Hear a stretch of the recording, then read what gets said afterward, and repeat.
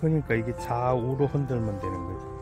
아, 한 번만. 그냥 더. 이렇게 하지 말고 옆에 요 똑같은 라인에서 좌우 이렇게 흔들면 아, 좌우 뭐 아, 네, 그런 식으로 살짝 당기면서 옆으로 이렇게 아, 알겠습니다.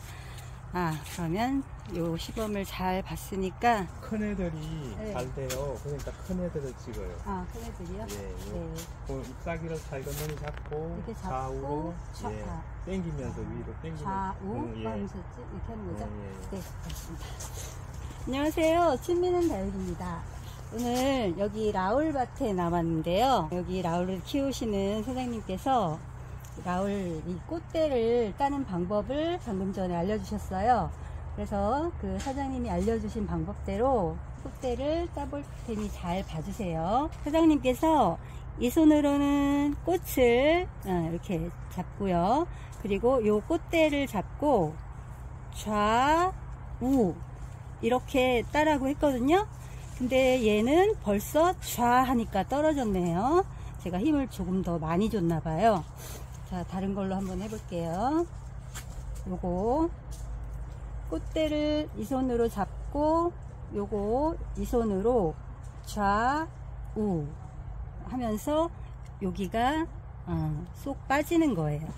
그러니까 꺾어지는 게 아니라 여기가 여기에서 쏙 빠지는 거예요. 요거 요거 이렇게 이렇게 빠지면 정말 빼는 재미가 있어요. 아주 이거 이거 완전히 중독되겠습니다. 이렇게 하면 와 속도가 그냥 장난이 아니에요.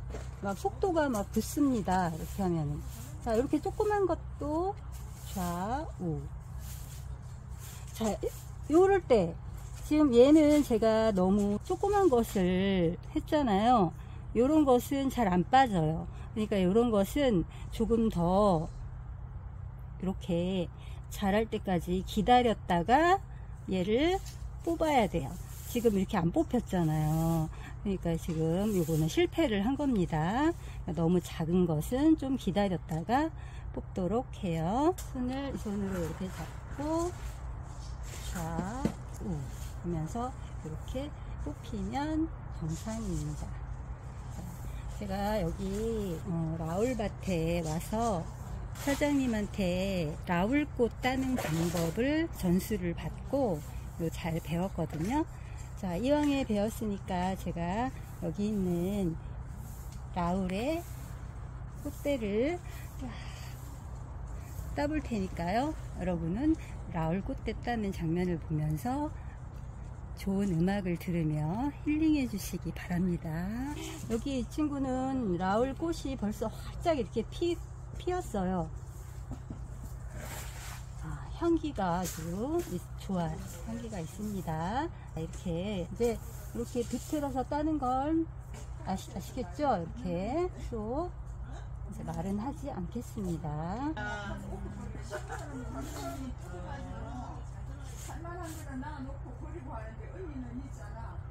가까이 찍어줘.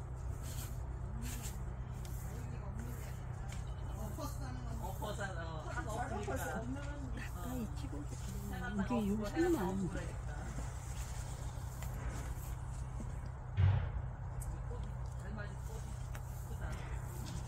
이렇게 딴 것은 하는데 놓아두고요. 이렇게 지금 약한 것은 조금 더 두겠습니다. 더 많이 길게 나온 것부터 뽑아주는 것이 좋겠지요. 그러면 더 쏙쏙 잘 뽑히고요. 그리고 잘 뽑히면 그때 쾌감이 있어요. 잘 뽑히면 이렇게 쏙 소리가 나면서 아주 특유의 쾌감이 느껴진답니다. 야울밭에 오길 잘한 것 같아요. 향기도 좋고요. 음, 은은한 라울 향기 맡으면서 꽃대를 이렇게 뽑는 것도 아주 힐링이 되고 좋습니다. 여러분들은 아무 생각 없이 하엽 딸 때, 압중할 때 어, 굉장히 힐링을 느끼시잖아요. 입니다. 사실 여기 라울밭은요 제가 자주 음, 제가 자주 오는 그 농장의 라울 코너예요. 요 라울은 도매 상인들한테 팔고 있는 제품들입니다. 그래서 이렇게 파는 제품들이라 다 한 송이라도 어, 소중하게 생각하고 얘를 따줘야 돼요. 여러분들 라울 꽃대를 따는 이유는 아시죠? 음, 다 아실 텐데 다시 한 번만 말씀드리자면 라울이 꽃이 피면 네, 꽃향기가 나니까 곤충들이 몰려오겠지요. 자, 곤충들이 와서 여기에 알을 낳거나 꿀을 빨아먹거나 이렇게 할 수가 있잖아요. 어, 그것을 예방하기 위해서 꽃대를 음, 뽑아주기도 뽑아주는 거고요. 그 다음 두 번째 이유는 이 꽃대를 그냥 두면 어, 요 전체에 그 잎 모양, 즉 로제트 모양이라고 하죠. 라울 얼굴을 로제트라고 하잖아요. 이 로제트가 미워질 수가 있어요. 왜냐하면 지금 이렇게 꽃대가 없는 로제트는 이렇게 예쁘게 로제트가 유지하고 있는데요. 이제 꽃대가 이렇게 번성을 해서 길게 나와 있으면 영양소를 전부 다 여기로 빼앗겨요. 여기 얼굴을 예쁘게 하는데 온 영양소와 힘을 써야 하는데 이 꽃대 올리고 꽃 피우는데 영양소를 다 쓰면 당연히 이 꽃대가 미워지겠죠. 여기 보세요.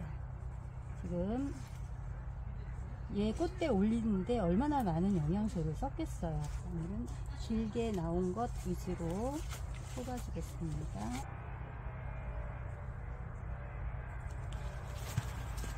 이제 속도가 조금씩 붙기 시작했습니다. 이거 딸 때 다음에 뭐를 딸 건가?